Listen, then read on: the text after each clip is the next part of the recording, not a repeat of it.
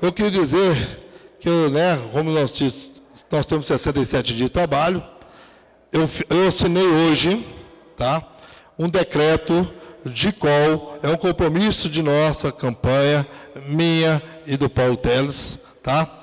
o decreto de qual vai reduzir o salário do primeiro escalão, prefeito, vice-prefeito e dos secretários que aqui estão hoje, em 20% para ajudar as pessoas que ganham menos do que salário mínimo na prefeitura.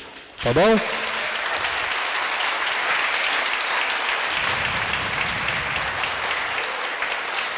E esse decreto está assinado a partir no dia 1 de abril. E não emitiu não, gente, 1 de abril, tá? É verdade. Está assinado e é decreto, tá bom? E agora declaro aberto a audiência pública.